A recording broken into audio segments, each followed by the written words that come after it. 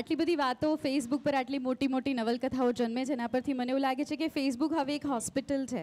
જ્યાં દરેક કવિ, દરેક લેખક પોતાની નવી નવી રચનાઓને જન્મ આપે છે. ઘણા વખતથી એક નામ છે મગજમાં. ફેસબુક ઉપર એમની કવિતાઓ વાંચેલી છે. તોફાની ત્રિપુટી તરીકે પણ એ પોતાના લેખ અને રચનાઓ વહેતા કરે છે ચિંતન શૈલત અને સૌરભ પંડ્યાની સાથે. હું અત્યારે બોલાવવા માંગીશ તાહા મંસૂરીને. ઓનલાઈન પોએટ્રી જેમણે શરૂ કરી છે ફેસબુક પર, આદિલ મંસૂરીના વારસાને જાળવી રાખતા પોતાની જનરેશનની કવિતાઓ અમારી જનરેશન સુધી પહોંચાડી છે. સાહિત્ય જગતમાં ખૂબ જ લોકપ્રિય નામ છે આપનું.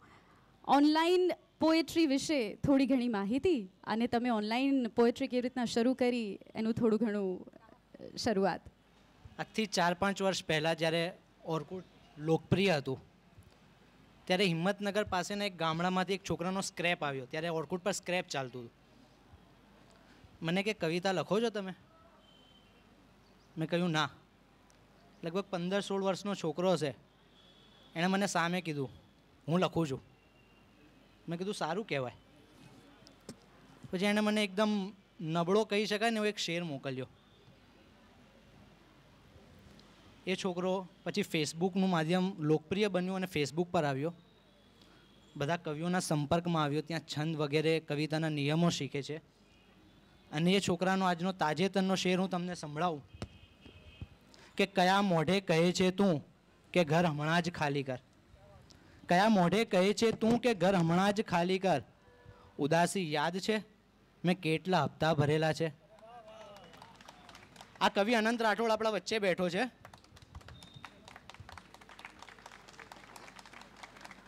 તો આ કવિતાની મજા છે કે આજથી ચાર પાંચ વર્ષ પહેલાં એને કવિતાનો કોઈ જ નિયમ વગેરે કંઈ નહોતું આવડતું. ફેસબુકમાં બીજા કવિઓના સંપર્કમાં આવ્યા પછી, બીજા કવિઓ પાસે છંદના નિયમો શીખ્યા પછી એનું જે સર્જન થયું એ આપ જોઈ શકો છો. એવું જ એક બીજું નામ છે પારુલ ખક્કર. અમરેલીના બેન છે.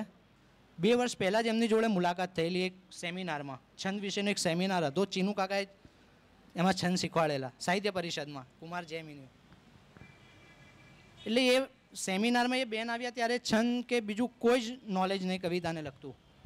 ને બે વર્ષ થયા એમનો પહેલો કાવ્ય સંગ્રહ લઈને અગિયારમી દિશા પ્રકાશિત થઈ ચૂક્યો છે, છંદોબદ્ધ ગઝલોવાળો. એટલે ફેસબુકનું આ પોઝિટિવ અસરો તો છે જ. Thank you so much Taha. Taha, પછી બીજું એક ખૂબ મોટું નામ આવે છે આપણી સાથે, અને એ છે ધીરેનભાઈ અવાસિયા. એમનો બટકો બેટો, જ્યારે જે એમની ઈચ્છા થાય તો દિલ્હી પહોંચાડી દે છે. ક્યારેક ઝાટકામાર પરિસ્થિતિમાં આપણને નવા વર્ષે વિશ પણ કરે છે. સ્વાગત કરીએ ધીરેનભાઈ અવાશિયાનું મંચ ઉપર સૌ પ્રથમવાર બોલાવવા માંગીશ હું અધીર અમદાવાદીને. આ નામ ફેસબુક ઉપર તમે વાંચ્યું હશે. શ્રી દેવાંશુ પંડિત, પહેલી વાર આપની સમક્ષ અધીર અમદાવાદી ઉર્ફ દેવાંશુ પંડિત તરીકે હાજર છે. આ ત્રણે ત્રણ એવા નામ છે જે ફેસબુક ઉપર અત્યારે પોતાની નવલકથાઓ લખતા હોય છે, પોતાની ગઝલો લખતા હોય છે અને ક્યાંક ને ક્યાંક જે યંગ જનરેશન છે, જે માત્ર ફેસબુકનો અમુક જ પ્રકારે ઉપયોગ કરે છે અને બીજા પ્રકારે કેવી રીતના ઉપયોગ થાય, એનું નોલેજ પણ વહેંચે છે. ધીરેનભાઈ? ખૂબ ખૂબ આભાર. આ સમગ્ર સમારોહમાં એક બહુ મને મજાની વાત ગમે છે કે જ્યાં જ્યાં જાઓ ને, કલાપીનું જ્યાં જ્યાં નજર મારી પડે.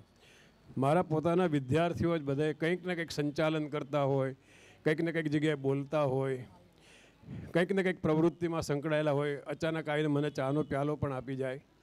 એટલે એક શિક્ષક તરીકે, ગુરુ તરીકે ધન્યતા અનુભવું છું. પણ મૂળ વાત પર આવી જાઉં તરત. મારી જેટલી વિટંબણા તમારામાંથી કોઈને હશે જ નહીં અને હોય નહીં એવી ભગવાનને પરમ કૃપાળુ પરમાત્માને પ્રાર્થના કરું. હું જ્યાં જાઉં છું, છેલ્લા ચાર પાંચ વર્ષથી આ દેવકી જેવા હોય, વાઘેશ્વરી જેવા હોય, અથવા તો વડીલ પણ હોય, ચીનુભાઈ જેવા એવા. હવે સ્મશાનમાં પણ મને કોઈક પૂછે કે, કેમ બટકો શું કરે છે આજકાલ? અરે ભાઈ, સ્મશાનમાં તો ના પૂછો. કોકના સત્કાર સમારંભમાં બરાબર આમ મારો વારો આવે, કવર આપવાનો હોય, હાથ મેળવવાનો હોય, ત્યાં પાછળથી કોણી વાગે, સાહેબ, ગઈકાલે બટકાએ બાકી જમાવટ કરી હો. માવટ કર? મને ક્યાં જમાવટ કરે? પણ આ બટકાએ મને પુનર્સ્થાપિત કર્યો છે. કારણ કે હું પત્રકાર હતો, એ પછી સત્યાવીસ વર્ષ મેં યુનિવર્સિટીમાં ભણાવ્યું અને ઈએમઆરસી સીડીસી આ બધા સંસ્થા કર્યા, ટેલિવિઝનની દુનિયામાં મારું કામ ચાલ્યા કરે. એટલે બધા મને ભૂલી ગયા હતા. પછી મોદી સાહેબ સાથે અગિયાર વર્ષ હતો, એટલે તો સાવ ભૂલાઈ ગયો હતો. ચીનુ મોદી સાથે તો કોઈ માણસ ભૂલાય જ નહીં. પણ કહેવાનો મતલબ એ છે કે પડદા પાછળના કામ અથવા તો જુદા કામમાં પડી ગયા હતા. પણ આ હું બટકાથી આવ્યો મેદાનમાં અને બટકાએ મને ફરી પાછો, જે એક જમાનામાં હું સિત્તેર બોતેરની સાલમાં છાપામાં મારી કોલમો લખતો ને એસ્ટાબ્લિશ થતો તો થયો હતો, એવો પાછો એક ઉમંગ મને આપ્યો છે. હવે આ મોટામાં મોટો સવાલ, હું જુનાગઢમાં નરસિંહ મહેતાના ચોરામાં દર્શન કરતો હતો, ત્યાં પણ એક મહિલાએ મને પૂછ્યું કેમ હમણાં ત્રણ ચાર દિવસથી બટકો આવતો નથી? કેનેડામાં મને ટોરન્ટોના એરપોર્ટ ઉપર પણ પૂછનારા હતા કે હવે બટકો અઠવાડિયું આરામ કરશે. મેં ના ના બટકો અહીંયા બેઠો બેઠો લખશે, મેં કીધું, કરશે કામ. તો આ બટકો શું છે?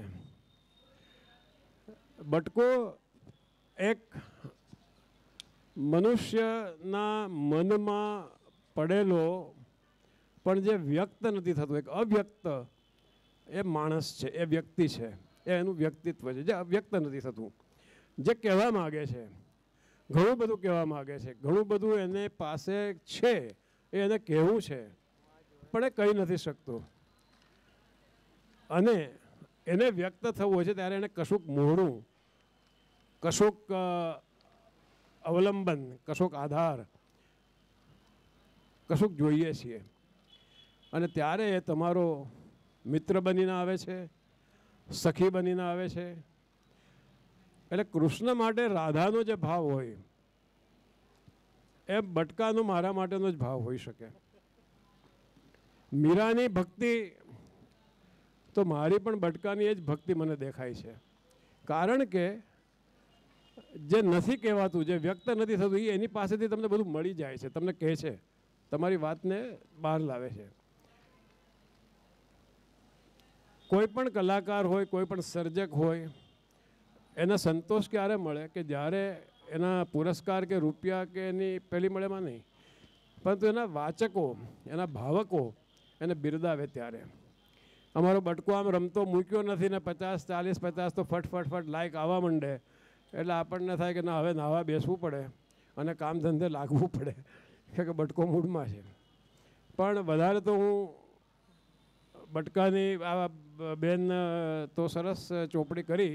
એમની વાર્તા તો હું વાંચતો ઋણાનું બંધ પણ મને બહુ બધાનો આગ્રહ છે કે તમે બટકાનું પુસ્તક કરો.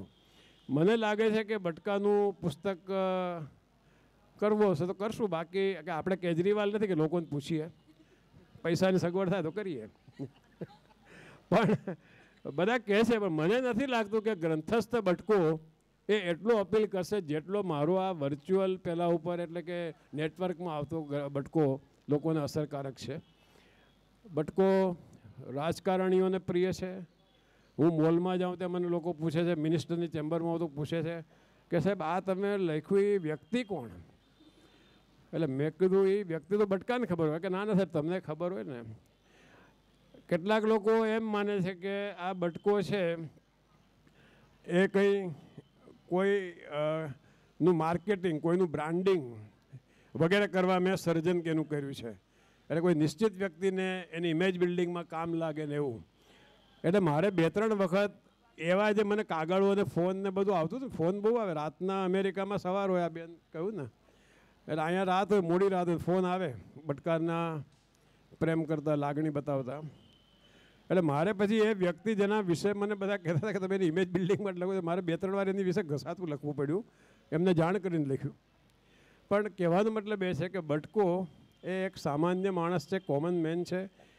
મારા તમારા સૌના મનમાં જે વ્યક્ત નથી થઈ શકતો બહાર, એ વ્યક્ત થતું એક પાત્ર છે. વધારે તો આપ સવાલ બવાલ પૂછો તો જવાબ આપીશ. કારણ કે મારી પછી એક તો આગલો કાર્યક્રમ રસપ્રદ રહ્યો, મજા આવી.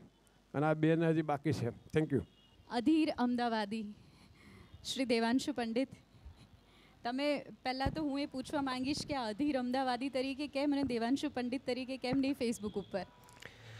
આ છે ને આ પ્રશ્ન એટલો બધી વખત મને પૂછાયેલો છે ને કે મેં મારા ફેસબુકના પ્રોફાઇલ પેજમાં આ લખી રાખેલું છે. એટલે જે મને આ પ્રશ્ન પૂછે ને એને હું પહેલાં પેલી ઇનબોક્સમાં એ લિંક મોકલી આપું કે ભાઈ પહેલાં મારો પ્રોફાઇલ વાંચો. એટલે તમે પણ મારો પ્રોફાઇલ નથી વાંચો એવું લાગે છે. અધીર નામ જે છે એ અમદાવાદી હોય એટલે અધીર હોય, એ બે આમ પૂરક છે.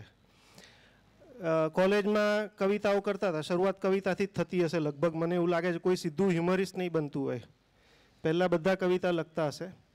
એટલે કોલેજમાં મેં પણ કવિતા લખવાનું ચાલુ કર્યું અને કોલેજના મેગેઝિન્સમાં ને એમાં એકાદ જણ જે પેલો ઉજ્જડ ગામમાં એરંડો લેખક, એટલે હું પણ લેખક બની ગયો હતો ત્યાં આગળ, કોલેજના વોલ મેગેઝિન્સ અને પછી એમાં.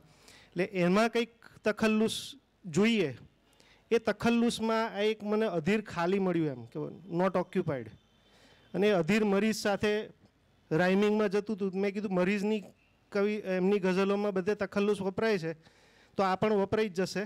એટલે કંઈ લખવામાં તકલીફ નહીં પડે. એમણે આટલી સરસ લખી છે તો અધીર એની જગ્યાએ રિપ્લેસ કરવું હોય, કોઈ વાર કોપી પેસ્ટ કરવું હોય ને તો બી કંઈક છંદનો કે એનો પેલો દોષ ના થાય. એટલે એવી રીતે મારી શરૂઆત અધીર તખલ્લુસથી થઈ. એ પછી લગ્ન થઈ ગયા. એટલે બધું, એટલે કવિતા લખવાની બંધ થઈ ગઈ. હવે એ કવિતા લખવાની બંધ થઈ ગઈ ને લગભગ દસ બાર વર્ષ એમ જ ચાલ્યું બધું. અને કાગળિયા જે બધા ધૂળ ખાતા તે ધૂળ ખાતા રહ્યા. એ પછી હું બે હજાર છ સાતમાં યુએસએમાં હતો અને ભણવા માટે ગયો હતો. ઇનિશિયલી ચાર પાંચ મહિના હું એકલો હતો પાછો, એટલે ફરી પાછી એક એકલા રહેવાનો સમય મળ્યો. અને અહીંયા આગળ પ્રોફેસર તરીકે પાછળ જે ઇન્સ્ટિટ્યૂટ છે સેપ્ટ યુનિવર્સિટી એમાં હું પ્રોફેસર છું. એટલે ભણવામાં થોડીક આમ સરળતા હતી, કારણ કે at at the age of forty તમે જાઓ ત્યારે તમને એટલી તકલીફ ના પડે. એટલે મારી પાસે ખાસો સમય હતો, એટલે મેં એમાંથી એક મારો બ્લોગ ક્રિએટ કર્યો. સળગતો શશી નામથી. એ મારી મારી ઇન્ટ્રોડક્શન પણ હું એ જ રીતે આપું છું કે આપું. કવિ, આ કવિતાના પહેલાંમાં હું ઘૂસી જઉં છું એટલે રહેવા દો. પણ મેં એક બ્લોગ ચાલુ કર્યો, સળગતો શશી. પછી બીજો એક બ્લોગ કર્યો મારા અમેરિકાના કુકિંગ એક્સપિરિયન્સીસ કારણ કે તમે બેચલર્સ જેવી લાઈફ જીવતા હો અને જાતે ખાવાનું રાંધવું પડતું હોય, એટલે જાત જાતના અનુભવ થાય. એટલે મેં એના ઉપરથી એક મારો બ્લોગ બનાવ્યો ઇંગ્લિશમાં ખાના ખરાબ. એટલે એ પેલું ખાના સારું તો બધું બનાવતા હોય છે, પણ ખાવાનું બનાવતા જે ખરાબ થઈ જાય, એ કેવી રીતે ખરાબ થાય, એના બધા અનુભવો મેં એના ઉપર શેર કર્યા. અને આ બ્લોગિંગ કરતાં કરતાં ગુજરાતી ટાઈપિંગ જે ઇઝી પડતું હતું, એ વખતે યુનિકોડ ને બીજી બધી આવી, એનાથી મારું લખવાનું ઓપન અપ થયું. એટલે જે બંધ થઈ ગયું હતું હાથથી લખવાનું પેલું હાસ્યલેખ લખવા હોય તો મઠારવા પડે ફરી ફરીને. એટલે જૂના થોડાક હાસ્યલેખ પણ મેં લખેલા કોલેજ ટાઈમમાં. એટલે પછી એ મઠારવાના બદલે એને બ્લોગ પર મૂકવાનું ચાલુ કર્યું. અને આમ અધીરમાંથી અધીર અમદાવાદી બન્યો કારણ કે હાસ્યલેખ લખવામાં અધીર ચાલે એવું નહોતું એકલું. એટલે પાછળ મેં એક જોડી કાઢ્યું અને બ્લોગનું જે પેલું નામ લેવાનું આવે એમાં Adhir dash Amdavadi dot blogspot dot com એવું નામ મને મળતું હતું એટલે મેં લઈ લીધું. પછી મને એ લિંક પણ થઈ ગયું કારણ કે અમદાવાદી હોય એ બધા અધીર જ હોય. અને અમદાવાદીઓની અધીરાઈ છે એ બધી સિગ્નલો ઉપર ને લાઈનો ઉપર ને એમ દેખાય. કોઈ જગ્યાએ એને અમદાવાદીને કોઈ રોકી ના શકે. અનસ્ટોપેબલ અમદાવાદી. રેડ સિગ્નલ પણ ના રોકી શકે. અને અત્યારે તો બીઆરટીએસના લીધે એટલા બધા રેડ સિગ્નલ્સ થઈ ગયા છે કે જો કોઈ અમેરિકાથી અહીંયા આગળ આવ્યું હોય, તો એ લોકો તો આ જે આપણે લાઈન બંધ એમ પંદર વીસ સિગ્નલ ડાયરેક્ટ રેડ સિગ્નલમાંથી બહાર નીકળી જઈએ, તો લોકો એકદમ આશ્ચર્ય પામી જાય કે અહીંયા આવું બી ચાલે છે.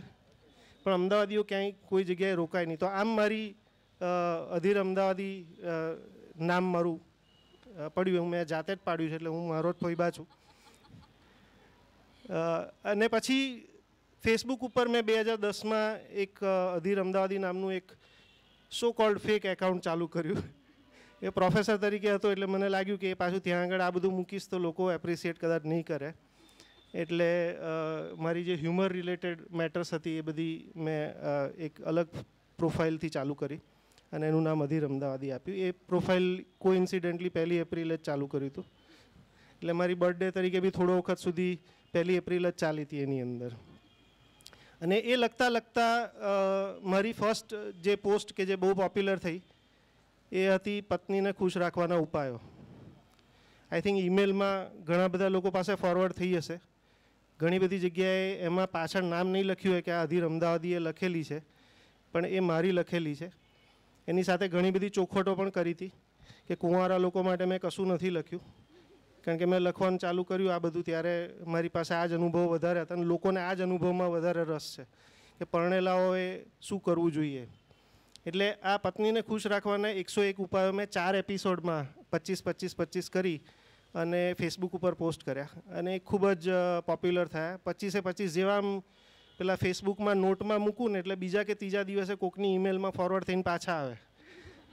પછી જે લોકોને ખબર હોય એ લોકો બી ફોરવર્ડ કરે. કે આ તમારું વાંચેલું મેં ફેસબુક ઉપર, આ ક્યાંક બીજી જગ્યાએ છે. અને પેલા એક જેહાદ ચલાવે છે આની કોપી પેસ્ટ અંગેની વિનય ખત્રી કરીને. એ વિનય ખત્રી તો જ્યાં આગળ પોસ્ટ થયું હોય ને ત્યાં આગળ જઈને પેલાની કોમેન્ટ કરી આવે બ્લોગ ઉપર જઈને. કે ભાઈ આ અધીર અમદાવાદીનું નામ લખવાની અંદર એમ. પછી તો એવો વખત થયો કે આ પોસ્ટ એટલી બધી આગળ વધી કે એ પછી છોડી દીધું કે હવે જે લોકોને ગમે છે તો વાપરવા દો એને. પણ એની સફળતાથી ખુશ થઈને જેમ પેલું કહે ને કે એક એક કર્યું તો હવે થોડું વધારે કરો એમ. પછી મેં રિક્ષાવાળાને તપાવવાના ઉપાયો લખ્યા. બોસને તપાવવાના ઉપાયો લખ્યા. પતિને કાબૂમાં રાખવાના નુસ્ખાઓ લખ્યા. અને હું પ્રોફેસર છું, એટલે પ્રોફેસરો માટે ટિપ્સ લખી કે વિદ્યાર્થીઓને કંટ્રોલમાં કઈ રીતે કરવા. આ બધા હ્યુમર બેઝ છે, મારા બ્લોગ ઉપર બધા અવેલેબલ છે. તો આવી રીતે મારું શરૂઆત થઈ. અને એમાંથી મને મુંબઈ સમાચારમાંથી પિંકીબેનનું આમંત્રણ આવ્યું કે why don't you write for Mumbai Samachar? એટલે મુંબઈ સમાચારમાં બે હજાર દસ એપ્રિલમાં મેં આ મારો ફેસબુક એકાઉન્ટ ચાલુ કર્યું. અને ઓગસ્ટ મહિનાથી હું મુંબઈ સમાચારમાં કોલમ લખું છું. એ પછી અભિયાનમાં છ મહિના જેવું લખ્યું પચીસ એપિસોડ્સ સંદેશમાં બે વર્ષ મેં લખ્યું. અને અત્યારે મુંબઈ સમાચારમાં મારી કોલમ ચાલુ છે. કે આ પત્નીને ખુશ રાખવાના ઉપાયથી તમારા લગ્ન જીવનમાં કેટલો ફાયદો થયો? અત્યારે અહીંયા શાંતિથી બેઠો છું ને તને દેખાય છે ને? આ કવિ મગજ હોય ને, એટલે આવા બધા વિચારો આવે છે એ બાબતે તાહા મારે તમને સવાલ છે કે તમે જેટલી પોએટ્રી કરી ઓનલાઈન ફેસબુક ઉપર, અને તો તમને ક્યારે એવી બીક ના લાગી કે એ લાઈન લઈ લેશે, ચોરી કરી લેશે, કે એના માટે તમે કોઈ આગળથી પ્રિકોશન્સ લીધા હતા કે નહીં? એવું ઘણી બધી વખત થયું છે. ને જેવું અમે કહ્યું કે વિનય ખત્રીભાઈ કોપી પેસ્ટ સામે ઝુંબેશ ચલાવે છે, એવી મેં પણ ચાલુ કરી હતી. ને એમાં એવું થયું કે સાયબર ક્રાઇમમાં મારા વિરોધમાં કેસ થઈ ગયો હતો. એટલે પણ પછી બધું ઘીના ઠામમાં પડ્યું. પણ આ સમસ્યા ફેસબુકમાં રહેવાની જ છે એનો કોઈ કાયમી ઈલાજ છે જ નહીં. એટલે આ સમસ્યા તો રહેવાની જ છે. ધીરેનભાઈ આપને એક સવાલ.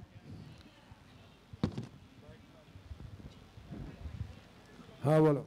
સર મને એવો વિચાર આવે છે કે ફેસબુક પર ઘણી બધી યંગ જનરેશન છે જે તમને ત્રણેયને પણ ફોલો કરતા હોય તમને બટક બોલા બટકાને પણ યંગ જ છીએ.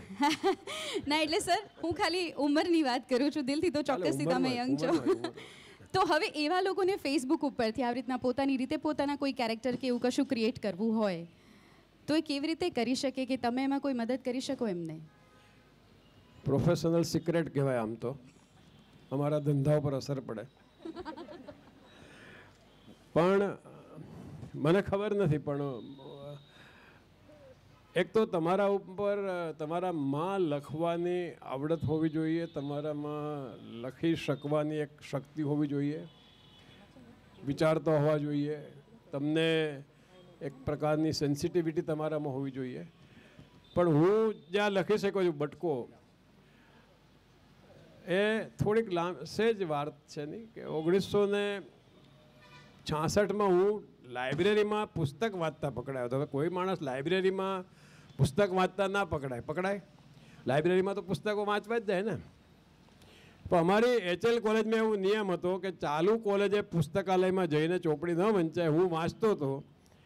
કારણ કે જે પીરિયડ એકાઉન્ટ્સનો તેમાં મને રસ નહોતો. અને હું એક જગમશહૂર પુસ્તક વાંચી રહ્યો હતો મને બકુલ ત્રિપાઠી સાહેબે પકડ્યો. પ્રોફેસર બકુલ ત્રિપાઠી, નામ સાંભળ્યું છે? ત્રિપાઠી સાહેબે પકડ્યો, મને કે ભઈલા, આ ગુનો ન કહેવાય, પણ આ કોલેજની રીતે આ ગુનો કહેવાય. પણ હું તને સજા કરું છું. મેં તો શું સાહેબ? કે, આપણી કોલેજનો અંક છે, બહાર પડવાનો છે. આ તું જે પુસ્તક વાંચે છે હ્યુમરને લગતું પુસ્તક છે. મેં કીધું, હા. મૂળે ત્રિપાઠી સાહેબે શોધતા એમાંથી મને પકડ્યો કે આ કોની પાસે છે. એ વોઝ અ ગુડ હ્યુમરિસ્ટ તારે એક હાસ્ય લેખ લખવાનો છે. ઓગણીસો છાસઠમાં મેં પહેલો હાસ્ય લેખ લખ્યો. નિર્બંધિકા હતી. આપણે કહીએ ને ઘણા નામ કે કોઈ કાકા હોય તો એમ કે કેમ જનુલાલ મજામાં? આમ કોઈ કોઈને જનુ કહીએ, કોઈને કંઈ બટકો કહીએ, કોઈને કંઈ બીજા નામે સંબોધીએ. એવા નામ હોય, ઉપનામ હોય, સર્વનામ જેવા થાય. એટલે મેં એના ઉપર એક લેખ કર્યો, એક હાસ્ય લેખ કર્યો. અને બહુ વંચાયો. અને બસ ત્રિપાઠી સાહેબે મારી આંગળી પકડી લીધી. ગુજરાત સમાચારમાં મને બેસાડી દીધો. અને એમાંથી હું લેખક થયો. હાસ્ય લેખક તરીકે પણ ઘણું લખ્યું. પણ તમે ઓબ્ઝર્વ કરો, તમારી આસપાસના માણસોને જુઓ. તમારી ઘરમાં કામવાળી આવતી તો એને, એટલે કેરેક્ટર તરીકે જુઓ, કામવાળી તરીકે નહીં. તમારા ઘરમાં છાપા નાખવા આવતો હોય જો સવારે વહેલા ઉઠતા હોય તો છાપાવાળાને જુઓ. અમારે ત્યાં છાપું નાખવા આવે છે, અદ્ભુત કેરેક્ટર છે. એનો મોબાઈલમાં કયું સ્પેશિયલ ડિવાઇસ છે કે દસે દસ માળમાં સવારના પોરમાં એ જે વગાડતો હોય છે ગીતો એ બધાને સંભળાય બધા ઉઠવા માંડે કે હવે અલારામની જરૂર નથી છાપાયા દૂધવાળો હોય ઘણા લોકો હોય, તમે રિક્ષામાં બેસો તો રિક્ષાવાળો હોય, બસમાં સાથે બેસતા હોય, તમારો ઘણા બધા સમાજમાં આસપાસ આસપાસ ખૂબ બધા હોય. એમને ઓબ્ઝર્વ કરો, એમની બોલવાની વૃત્ત સ્ટાઇલ એમના રહેન કહેન, રહેન સહેન, એમની ખાવાની સ્ટાઇલ વાતચીતની સ્ટાઇલ અને એમાંથી તમે પકડો વાતને. અને એને પછી ચરંદર એનું મંથન કરો, વલોવો, બરાબર વલોવો. અને જે કોઈ પણ સારું મંથન તમે દહીંનું કરો, વલોણું ચલાવો, તેમાંથી માખણ બહાર આવે, તો બહાર આવે. અને સારું કેરેક્ટર તમે ડેવલપ કરી શકો. પણ ઓબ્ઝર્વેશન, નિરીક્ષણ એ કદાચ સૌથી મોટું પાસું છે કે જે તમને થાય. આ બટકો મને એવી રીતે જ મળેલો છે ને, કે મેં જોયા કર્યું હતું જોયા કર્યું હતું એમાંથી બટકો મળ્યો.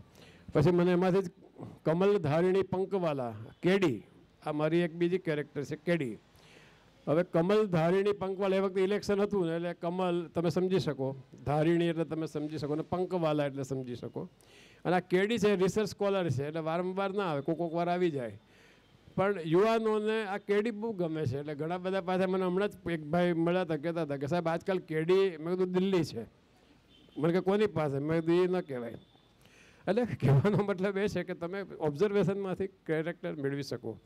થેન્ક યુ ઓડિયન્સમાંથી પ્રશ્ન હોય, અધીર અમદાવાદી, બટક બોલો, બટકો, અને તોફાની ત્રિપુટીને તો.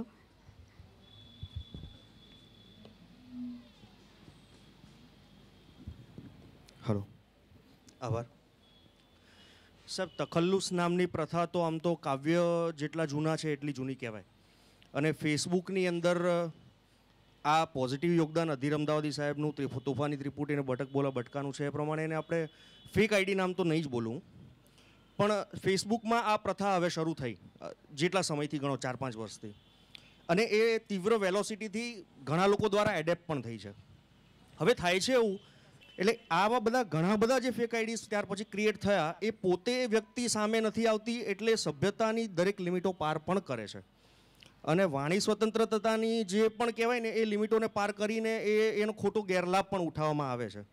ખુલ્લું મન છે એનો મતલબ એ તો નથી કે આપણે બધી જ વસ્તુ પીરસીએ. તો આવા લોકોએ કંઈક અંશે એવું બને કે ભાઈ મેં અધીર અમદાવાદીને કે તોફાની ત્રિપુટીને જોઈને અથવા તો થોડો ઘણા ઇન્સ્પાયર થઈને મેં એ આઈડી ક્રિએટ કર્યું છે.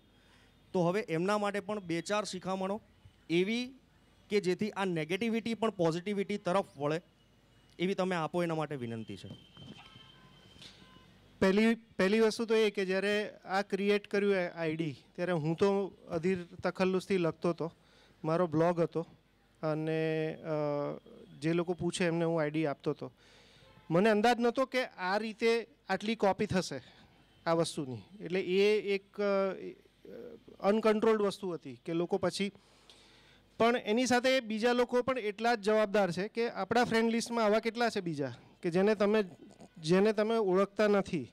અને તમને ડાઉટ પણ છે કે આ પ્રોપર નથી.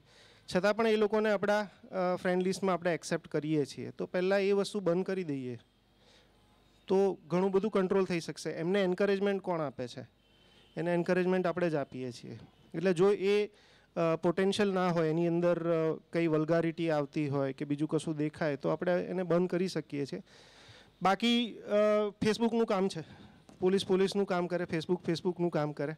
બધા કામ આપણે ના કરી શકીએ. એટલે મારું હસાવાનું કામ છે. એટલે આ સાયબર સિક્યોરિટીનો વિષય છે. એટલે તમને વધારે અનુભવ છે આમ તો. એમના ઉપર કમ્પ્લેન પણ થઈ ચૂકી છે. આદિલ સાહેબની એક બહુ જાણીતી રચના છે. નદીની રેતમાં રમતું નગર મળે. તો એક ભાઈની પોસ્ટ પર હું આ ગઝલ વાંચતો હતો. પત્રકાર હતા એ ભાઈ. આખી ગઝલ વાંચી, પણ છેલ્લે જ્યારે મક્તાના શેરમાં કવિનું નામ આવે ને, ત્યાં આખરી શેર હતો કે, વતનની ધૂળથી માથું ભરી લઉં જીગર. આદિલ મનસુરીના નામના બદલે ત્યાં જીગર નામ હતું કે, વતનની ધૂળથી માથું ભરી લઉં જીગર અરે આ ધૂળ પછી ઉમરાભર મળે ન મળે. એટલે મારું જે એક, અમે પણ એક ફેક આઈડી ચલાવીએ તોફાની ત્રિપુટી નામનું. એટલે મેં આઈડી ઉપરથી એને કીધું કે, ભાઈ, આ ખોટું છે. પછી મેં એની વોલ્પ જોઈ તો સાહેબ, પાલનપુરી સાહેબની શૂન્ય સાહેબની, બહુ બધાની ગઝલોમાં છેલ્લે ખાલી મક્તામાં કવિનું નામ બદલી નાખ્યું હતું એણે. એટલે મેં એને ફરિયાદ કરી અને એણે માનવાથી ઇનકાર કર્યો, ત્યારે મેં એની વોલ પર જઈને પોસ્ટ મૂકી. એણે સાયબર સેલમાં ફરિયાદ ફક્ત એ કારણથી કરી કે મેં જે પોસ્ટ મૂકી હતી એ ફેક આઈડી પરથી હતી.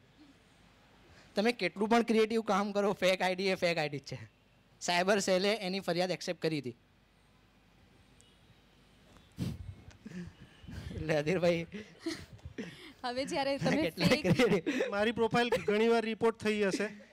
ગૂગલમાં પણ મારું ગૂગલ પ્લસ પ્રોફાઇલ પણ ક્યાંક રિપોર્ટ થયો હતો ને એ લોકોએ મારી પાસે પ્રૂફ માંગ્યા હતા કે ભાઈ તમે જેન્યુન હો તો તમે સાબિત કરો. અને મેં સાબિત કર્યું તો લગભગ ગધેડાનો ફોટો મોકલ્યો હશે. હું આ બાબતમાં નસીબદાર છું. મેં કદી કોઈ જગ્યાએ આવું ફેક કામ નથી કર્યું. હા છાપાની દુનિયામાં મારે રઝિયા જુનાગઢી કે અભિજીત કે માનસી કે એવા બધા નામ તમે સિનિયર છો એ બાબતમાં તો. રઝિયા જુનાગઢી નામથી લખતા હતા એટલે તમે સિનિયર છો. આ ઘણા સિનિયર પણ કહેવા મને આવો બહુ અનુભવ નથી થયો કદી. પણ એક બે અનુભવ મને જુદા થયા હતા. એટલે મેં એક પાત્ર ઊભું કરેલું હતું, બટુકાનો નોકર અને એનું મેં તો આમ સહજ નામ ઉકો લખેલું. એક ઉકો નામ હોય, અમારા કુટુંબમાં એક એવો નોકર હતો. તો એક બહેનનો મને ભાવનગરથી ટેલિફોન આવ્યો. અને મહેનત કરીને એમણે ફોન શોધ્યો. મારી સાથે એમના સંબંધો પણ એમણે એસ્ટાબ્લિશ કર્યા કે તમે જ્યાં જુનાગઢમાં રહેતા અને હું જ્યાં રહેતી, એની વચ્ચે આટલું અંતર વગેરે વગેરે. પણ એ લાગણીથી એમણે મને કહ્યું કે કોઈ એક સાહિત્યકારને કોઈ લેખકને આવા નામથી પજવવામાં આવ્યા હતા ભૂતકાળમાં ફેસબુક ઉપર. એટલે મેં બીજે જ ક્ષણથી નિર્ણય કર્યો કે આપણા ઉકો લખવું નહીં. એટલે ઉકાના પાત્રને મેં નોકરને વિદાય કરી દીધો. આ એકવાર મારા જીવનમાં આવું બન્યું આટલા વર્ષોમાં. પણ હોશિયાર લોકો તો છે. એટલે આમ ફેસબુક ઉપર ના કરે, પણ બહાર કંઈ પ્રવચન હોય, કોઈ સ્કૂલમાં એમના લેક્ચર દેતા હોય કે અન્ય હોય, તો મારા બેટા આખે આખું મારું લઈ લે, પણ બટકન બાદ કરી નાખે. એટલે એક વખત મારા પત્નીએ જ મને કહેલું કે અમારી સ્કૂલમાં આજે આવી વાત થઈ. પછી એમ કે હું હસતી હતી. મેં તો ખખડાવા જોઈએ ને, મેં હસાય તો આપણા બટકાને આવું કર્યું. મને કે, ના ના, કે તમે પણ આવા જ છો ને. કે થેન્ક યુ ત્યારે ફેસબુક પર ગુજરાતી બ્લોગ્સને એ બધું વાંચનારી જનરેશન હજી તો છે.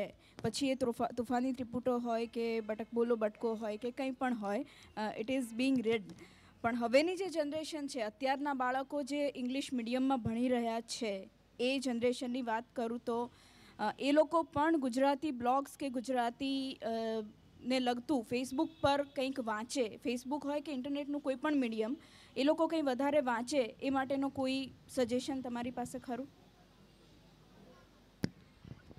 કાલે એક બીજા સેશનમાં સેમ સવાલ એક બહેને પૂછ્યો હતો ને વિવેકભાઈ ટેલરે જે જવાબ આપેલો એ હું અહીંયા રિપીટ કરું.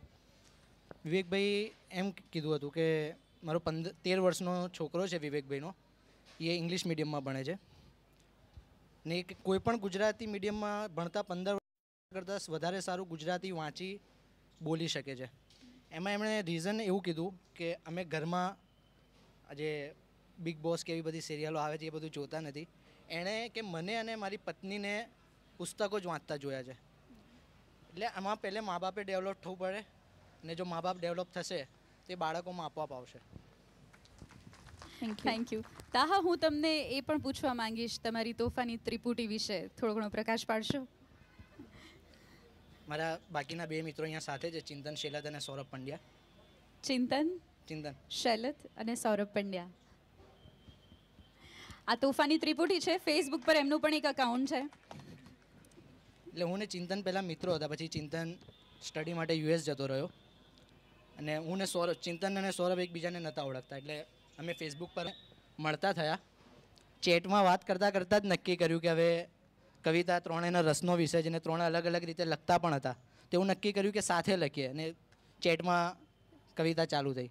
ને એક મજાની એક વાત છે કે એક વખત અમે ચેટ કરી રહ્યા હતા ને મારી ગર્લફ્રેન્ડનો ફોન આવ્યો. હવે મારી ફિયાન્સી જઈએ ફરાના. એટલે મારે રિપ્લાય આપવામાં થોડો, થોડી વાર થઈ. એટલે આ બંને પૂછ્યું કે કેમ આટલી વાર એટલે મેં કીધું, મારી એક ફ્રેન્ડ સાથે હું ફોન પર વાત કરતો હતો. મારો કોલ ચાલુ હતો ને ચેટમાં એક મિત્રએ ગઝલનો પહેલો મતલા નાખ્યો કે પ્રણયની કહાની ઘણી ફોન પર છે.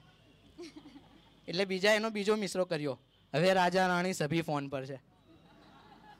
મારો ફોન ચાલુ હતો ને ગઝલ આગળ વધતી ગઈ કે નજર મેં નજર કું મિલા કે ના જોવે, એ જુઠ્ઠીની બધી ટણી ફોન પર છે. એટલે મજા છે કે એક તરફ ફોન ચાલુ હતો ને ફેસબુકના ચેટ રૂમમાં ગઝલ બની રહી હતી. એટલે આવી રીતે તોફાની ત્રિપુટીની શરૂઆત થઈ. આખી આખી ગઝલ. ઇરશાદ. પ્રણયની કહાની ઘણી ફોન પર છે. પ્રણયની કહાની ઘણી ફોન પર છે હવે રાજા રાણી સભી ફોન પર છે. કહાની સતત આગે વધતી રહેગી અમારી મોહબ્બત ભઢી ફોન પર છે. હશે જો એ સામે મોઢું ફેર લેંગે.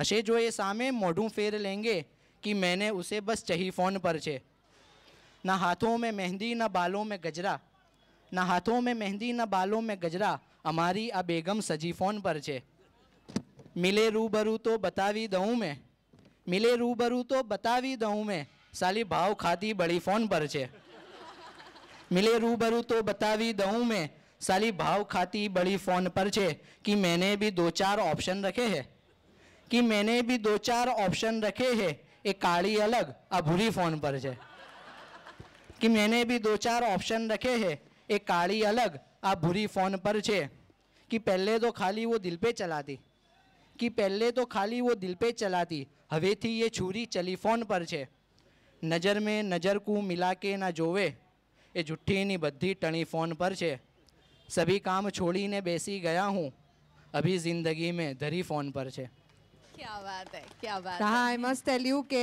અમે ગઈકાલથી જે સવારથી સેશન્સ ચાલે છે ને એમાં ગઈકાલના પાંચ સેશન અહીંયા થયા. આ અત્યારે આજનું ચોથું સેશન છે. પહેલી વાર અમારો માઇક વાળો ખુશ થયો છે. એ જેટલા વેલા શેર બોલતે આહા આહા કરે છે અહીંયા.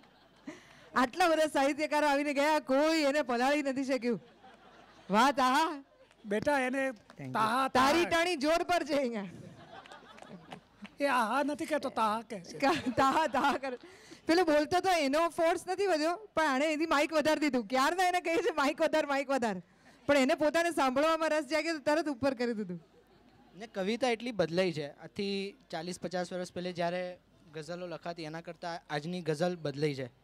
આદિલ સાહેબની વાત કરું તો ત્યારની જે ગઝલ હતી કે જ્યારે પ્રણયની જગમાં શરૂઆત થઈ હશે ત્યારે પ્રથમ ગઝલની રજૂઆત થઈ હશે. એ જ આદિલ સાહેબ જ્યારે એકવીસમી સદીનો સૂરજ જુએ ત્યારે એ કેવી ગઝલ લખે? કે કોઈ દિવસ ઢાઈ અક્ષર ક્યાં લખે ઈમેલમાં? દુનિયાભરના વાયરસ એ મોકલે ઈમેલમાં.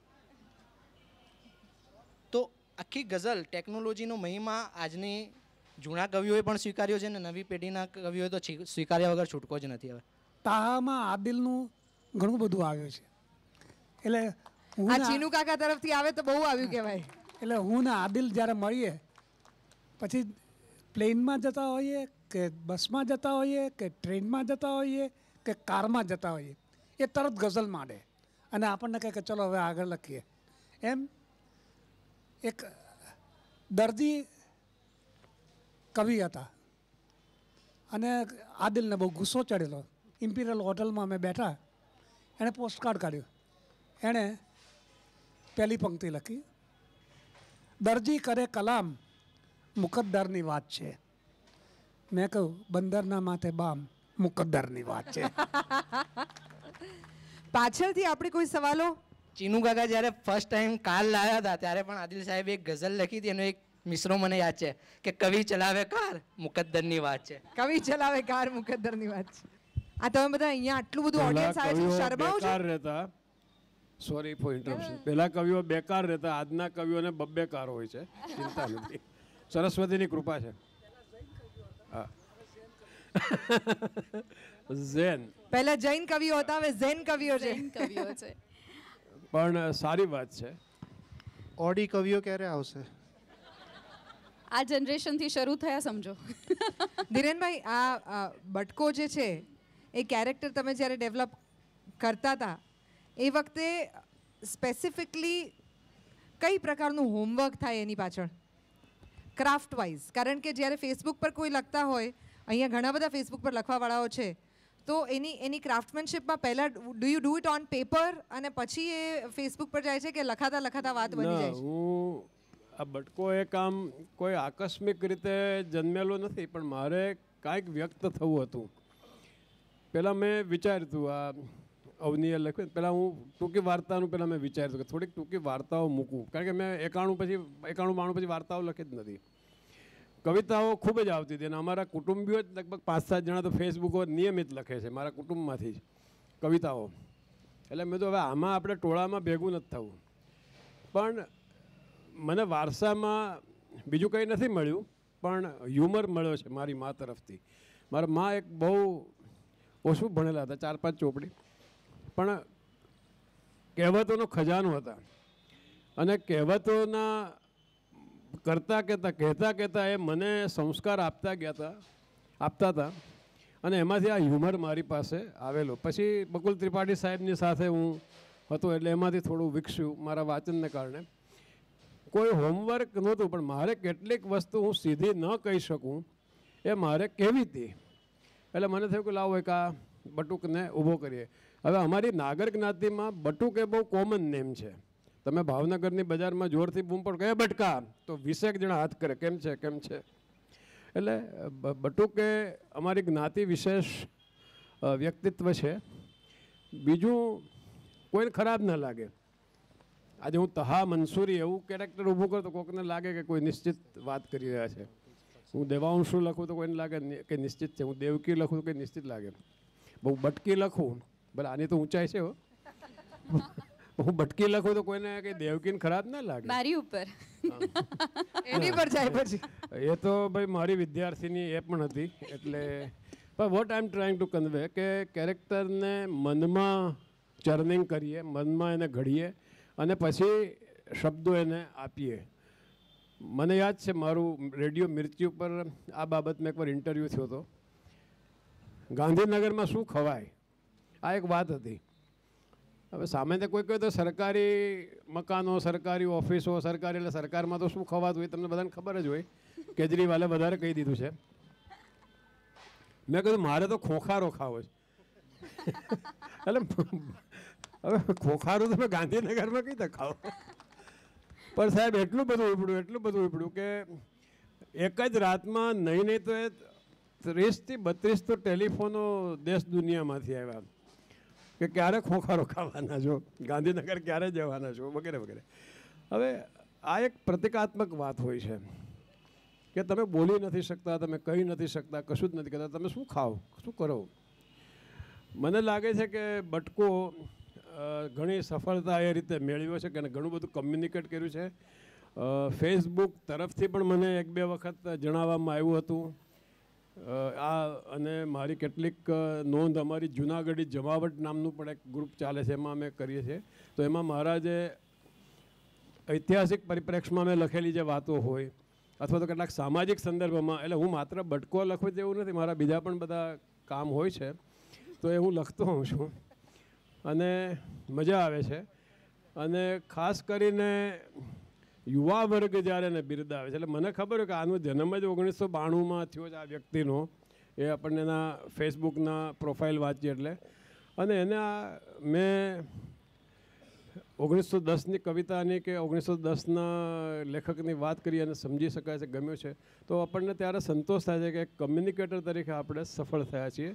એક ઇન્ટરેક્શન આપણે સારું કરી શક્યા છીએ. થેન્ક યુ આજે બટકાની તમે જે વાત કરી છે, એ હું રેગ્યુલર આપણે લોકો ગ્રુપમાં છીએ. અત્યારે આ સેશનમાં હું આવ્યો એટલે મારા માટે એક ઘટસ્ફોટ થયો છે કે બટકો એ તમારા મનમાંથી ઊભું થયેલું કેરેક્ટર છે. હું અત્યાર સુધી મને હું કોઈક એક વ્યક્તિ છે એના વિશે હું ધારણા બાંધી બેઠેલો કે અને એને મળતી ઘણી બધી વાત તમારે આ તમારું જે આ શેરિંગ છે એની અંદર એ જે કેરેક્ટર છે જેને હું ઓળખું છું અને તમે પણ બહુ સારી રીતે ઓળખો છો. એના વિશે ઘણી બધી વાત એની અંદર, એના પાત્રની અંદર છતી થાય છે. તમે તમારા બટકાને પ્રવાસ પણ કરાવો છો. રાજકોટમાં જલેબી ગાંઠિયા ખાવા કોઈક વાર લઈ જાઓ છો. કઈ વાર નહેરુનગર લઈ જાઓ છો. દિલ્હી લઈ જાઓ છો, ટોરન્ટો લઈ જાઓ છો. અને ઘણી બધી જગ્યાએ એને પ્રવાસ પણ કરાવો છે. અને કોક કોક વાર એવું બન, બન્યું છે કે એ જે કેરેક્ટરને જે હું જાણું છું, એ રાજકોટમાં એના કોઈ ફંક્શનમાં હોય કે કોઈક જગ્યાએ હોય તો આવી ઘણી બધી સિમિલારિટી એ પાત્રની જોડે જોડાયેલી છે. પણ અત્યારે મારે ઘટસ્ફોટ થયો છે કે આ બટકો એ કોઈ ખરેખર સાચું કેરેક્ટર નથી. પણ તમારા મનમાં અથવા તમારે જે વાત કરવાની છે એમ જ કહેવાય ને. બસ મારે આટલું જ જાણવું હતું. ધન્યવાદ. પણ એ એક અકસ્માત છે. કંઈક સામ્યતા આવી જાય કશુંક સરખાપણું દેખાઈ જાય એક બહુ નિર્દોષ અકસ્માત ગણવો. કારણ કે ઘણી વખત મને ઉપર ખાસ આ કિરણ કુમાર ગરડા થઈ ગયા લાગે છે. એટલે પછી કોક પૂછે કે સાહેબ, વાળ કેમ ગયા? હમણાં તમે ફલા, ફલાણી ફિલ્મમાં તો વાળ હતા ને. પણ હું કાંઈ કિરણ કુમાર નથી, એ અકસ્માત છે. પણ મને એની ટ્રીટમેન્ટ મળે એરપોર્ટ ઉપર, એમના જેવી. થેન્ક યુ કેટલાક લોકોને એવી ખબર નથી હોતી ને, એટલે જે ગધેડામાં અધીરભાઈને ઢૂંઢાવે અને ગધેડાને એકદમ માનની નજરે જુએ. હમણાં ગધેડાઓને સન્માન બક્ષ્યું છે, અમદાવાદના ગધેડાઓને. ગધેડા એસોસિએશન વાળા મારું સ્વાગત નથી કર્યું હજુ સુધી પણ. દેવાંશ તમારે આ ગધેડાને જે તમે ફોટોગ્રાફમાં યુઝ કર્યો છે એના માટે તમે કોઈ કોપીરાઇટ ના એકચ્યુઅલી સતપાલે બનાવેલું છે કાર્ટૂન. હા. હમણાં Satpal I know he just passed away સતપાલે હું કોમ પર લખતો હતો. એટલે એ વખતે સતપાલને સાથે મળવાનું થયું. એટલે મેં કીધું કે ભાઈ હું આ પેલું ગધેડું મેં જે છે એ મેં ક્યાંકથી કોપી પેસ્ટ કર્યું છે ઇન્ટરનેટ પરથી. પ્રીવિયસ વર્ઝન જે હતું એ. જી. એટલે સતપાલે મને આ નવું બનાવી આપ્યું હતું એટલે એટલે દેટ દેટ્સ હિઝ ક્રેડિટ ગધેડો સારો છે. એ વાંચતો બતાવ્યો છે સુંદર લાગે છે. એમાં એક એમાં એક થોડીક એવી મિસ્ટેક છે. એટલે મિસ્ટેક એટલે જેમ વાત થઈ એમ કે અમે લોકો હવે પેનનો ઉપયોગ નથી કરતા. હું મારા આર્ટિકલ્સ લખું છું અત્યાર સુધી લગભગ ત્રણસો આર્ટિકલ પબ્લિશ થયા છે ચારેક વર્ષમાં. પણ હું સીધું કોમ્પ્યુટર પર ટાઈપ કરું છું કશું પણ હોય તો. એટલે પેન ઉપયોગ નથી કરતો. એટલે જે લોકો જાણે છે આ વસ્તુ તો એ લોકોએ મને પોઈન્ટ આઉટ કર્યું હતું કે તમારો જે કેરેક્ટર બતાવ્યું છે તો પેનથી લખે છે. તમે એની જગ્યાએ લેપટોપ કરી દો. પણ ગધેડાને ગધેડાને ખબર પડી જાય કદાચ. પણ એની હું પણ છેલ્લા પાંચ સાત વર્ષથી સીધું જ લખું છું. અને આ બધી જે સરસ સોફ્ટવેર છે ફટાફટ એમાં કેટલીક વાર લખતા વખતે હસવાનું આવે આપણને. આપણે તાલ લખવા માગતા હોઈએ. તાલ. સૂર તાલ. અને વાં આવે ટાલ. અને એક બે વખત ઉતાવળમાં જાય ખરું. પછી મિત્ર તરત કે ભાઈ, ટાલ નથી, તાલ જોઈએ. એટલે બસ કરેક્શન કરીએ. પણ આ ટેકનોલોજીનો જે વિકાસ થયો છે, એ ખૂબ જ આનંદદાયક છે અને બહુ મજા આવે છે. આ ચર્ચા પતાવીએ પહેલાં છેલ્લો સવાલ. અધીર અમદાવાદી તોફાની ત્રિપુટી અને બટકબોલા બટકાને કે અમને ફેસબુક સિવાય આ ત્રણેવ ક્યાં મળી શકશે? અહીંયા સિવાય આ તો ગુજરાતી લિટરેચર ફેસ્ટિવલ છે કે જેના કારણે આવી રીતના મહાનુભાવો સામે છે આપણી. છતાં. બહાર બહાર ચાની કેટલી ઉપર? હું અહીંયા આગળ એની કેન્ટીનની ચા નથી પ્રિફર કરતો. હું સામે પેલી નર્મદનું પૂતળું છે ને ત્યાંની કેન્ટીન પર રહું છું. દિવસમાં બે વાર હું ત્યાં જઉં છું ચા પીવા. તાહા? ચીનુ કાકાએ ફરીથી શનિ સભા ચાલુ કરી છે એટલે દર શનિવારે પાછા અહીંયા મળીશું હવે. કનોરિયા સેન્ટરમાં જ. ધીરેનભાઈ મને તો સિક્યોરિટીની ટેવ પડી ગઈ છે એટલે જ્યાં મને સિક્યોરિટી મળી ત્યાં મળવા બોલાવું. તમારા બટકા માટે એક ખાસ ચાર લાઈનો આવી છે જેને પર આપણે ક્લોઝિંગ કરીશું. ભલ ભલાને લાગે ઝટકો ઘણાને મનમાં લાગે ખટકો. વાહ ભાઈ વાહ શું તમારો બટકો? લખતા રહો ને કદી ના અટકો. ખૂબ ખૂબ આભાર. આપણે એક મિત્ર હમણાં જ આપનો ખૂબ ખૂબ આભાર. બટકો કદી અટકશે નહીં. બટકો ટકશે જ અને બટકાને કોઈ અટકાવવાના પ્રયત્ન કરશે તો તમારા જેવા જિંદાદિલ દિલદાર અમારા પ્રશંસકો છે એ એને કદી કોઈને અટકવા નહીં દે. Thank you thank you Devansh thank you Taha thank you very much